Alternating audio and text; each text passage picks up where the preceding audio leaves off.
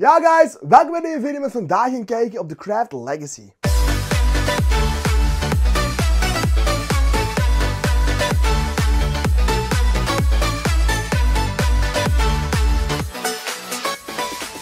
Oh boy, corona. Deze film heeft één dag gedraaid. Mocht je denken, Sven, wat zien je oogjes er klein uit?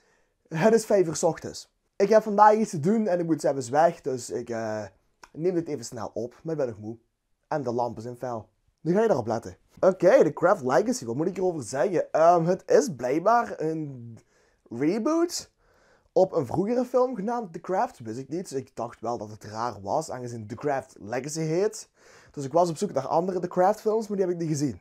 Ik heb deze dus wel gezien. Is dat een nadeel? Ik denk het niet, want het is een reboot. Maar aan de andere kant snapte ik echt niks van wat hier aan de hand was. Ik denk dat het beste gewoon is als we snel gaan beginnen, want anders komt deze video alsnog niet online op tijd.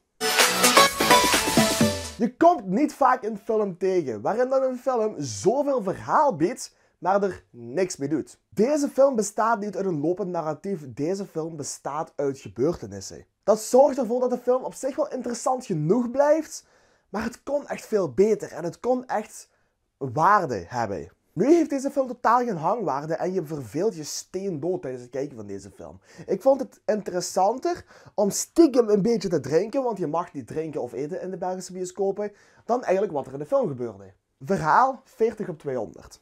Personages zijn oké-ish. Lily, het hoofdpersonage, mocht ik. Zij was best een leuk personage.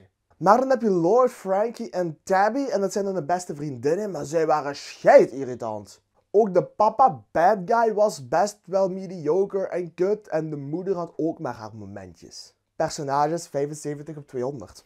De film heeft wel een oké pacing en hij gaat wel oké vooruit. Ook de designing was best gewoontjes, het deed niks speciaals, maar de effecten waren best wel leuk.